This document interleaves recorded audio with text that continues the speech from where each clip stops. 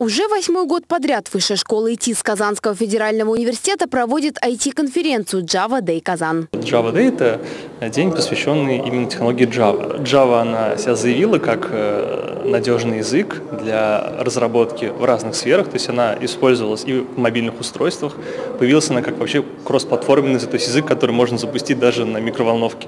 В этом году площадкой проведения стал Центр современной культуры «Смена». Ежегодно на конференции собираются представители IT-сферы, а также все те, кому интересно узнать что-то новое по языку программирования Java. Это моя вторая IT-конференция.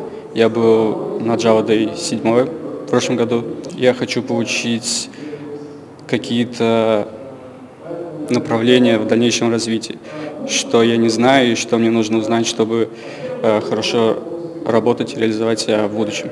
Здесь обсуждаются последние тренды языка Java. Общение проходит в очень свободной форме. Любой желающий может задать спикеру интересующий вопрос. А в качестве докладчиков на конференции выступают представители известных компаний. Сегодня выступает компания «Мера». Она 29 э, лет на рынке, вот, то есть э, разработки.